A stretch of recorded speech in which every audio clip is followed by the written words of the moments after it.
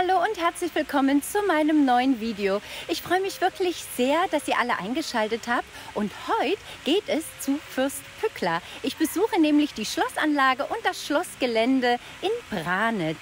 Hinter mir seht ihr schon die Henriette Sonntag, denn Fürst Pückler pflegte viele Kontakte zu Schriftstellern und Künstlern.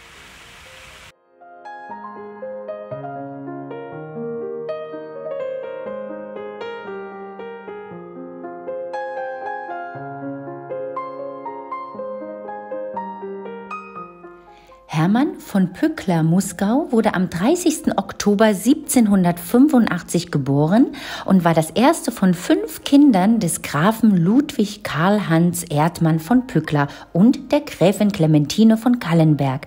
Pückler wuchs mit drei Schwestern in der freien Standesherrschaft Muskau auf.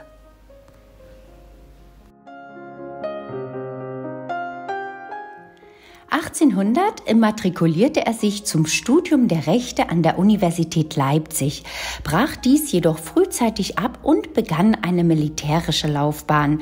Er unternahm schließlich ausgedehnte Reisen, oft zu Fuß, in die Provence und nach Italien.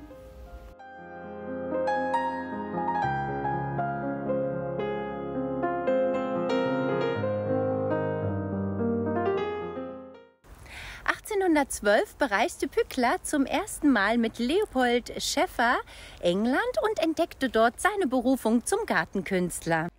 Am 9. Oktober 1817 erfolgte seine Heirat mit der neun Jahre älteren Lucy von Hardenberg, Tochter des preußischen Staatskanzlers Karl August von Hardenberg.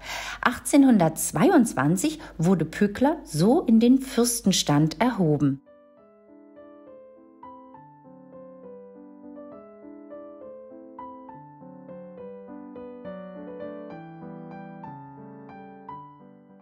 Zu den besonderen Innenräumen im Schloss gehört das Musikzimmer.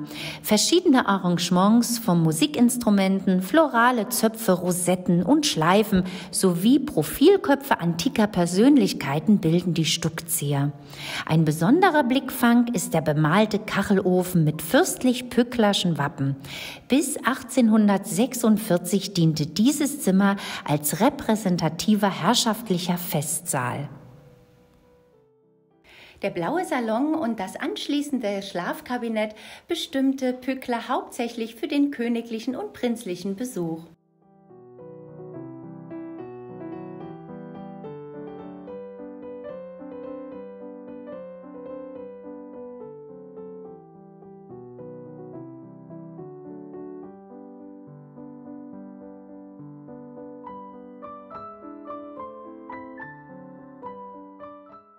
Ja, und auch das anschließende Eckkabinett wurde 1858 für die Prinzessin Augusta von Preußen hergerichtet.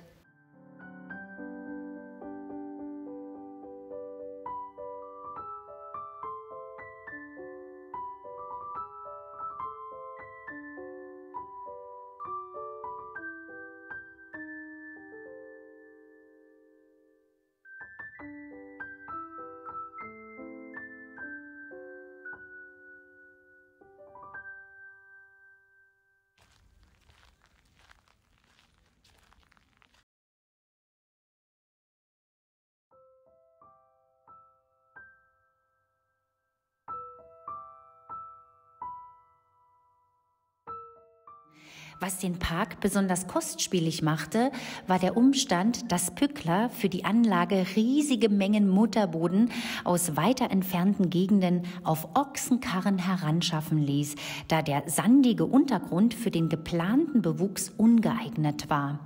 Darüber hinaus gelang es ihm erstmals, ausgewachsene Bäume zu verpflanzen. Er ließ sie auf einem speziellen Vorwerk heranfahren und präparierte den Boden am neuen Standort baumgerecht. So gelang es ihm, sein berühmt gewordenes Konzept der Blickachsen zu verwirklichen.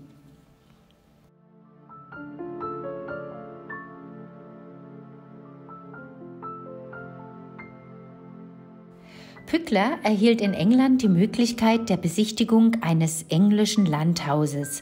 Den Zutritt zu den Gartenanlagen in England bekam er nur persönlich und wusste es zu schätzen. Er beschloss daraufhin in seinen eigenen Landschaftsgärten in Branitz und Bad Muskau den freien Zugang für jedermann.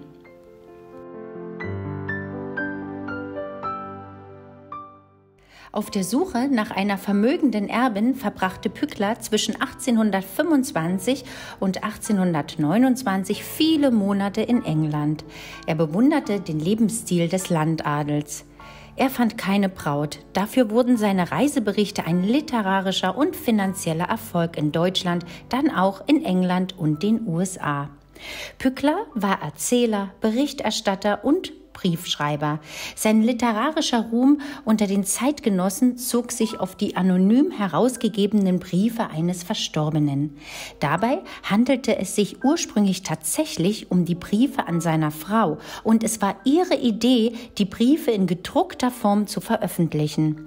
Sie wurden in kurzer Zeit in Deutschland, England und Frankreich zu Bestsellern.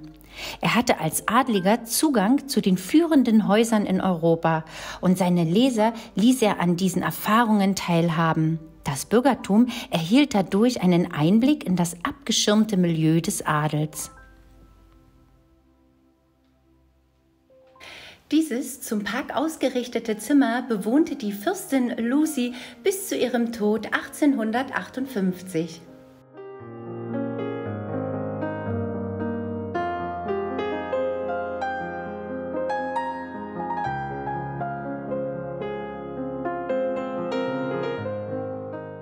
Fürst Pückler beschloss, nach Nordamerika zu reisen, doch wegen eines Duells verpasste er die Schiffsabfahrt. Stattdessen unternahm er eine Reise nach Ägypten, wo er als Staatsgast empfangen wurde und für seinen Aufenthalt einen Palast mit Personal erhielt. Er reiste weiter in den Sudan, bis er 1838 südlich von Khartoum entkräftet den Rückweg antrat. 1837 kaufte er sich in Kairo auf dem Sklavenmarkt die etwa zwölfjährige Mahbuba, die ihn auf der weiteren Reise begleitete. Er nahm sie darauf mit zurück nach Europa, aber kurz darauf, 1840, verstarb das Mädchen in seinem Schloss. Bis zu seinem Tod im Jahr 1871 widmete er sich der Schriftstellerei. Da eine Einäscherung damals aus religiösen Gründen verboten war, griff er zu einer provokanten List. So wurde er am 9. Februar 1871 im Tumulus einer Seepyramide im Parksee des Branitzer Schlossparks beigesetzt.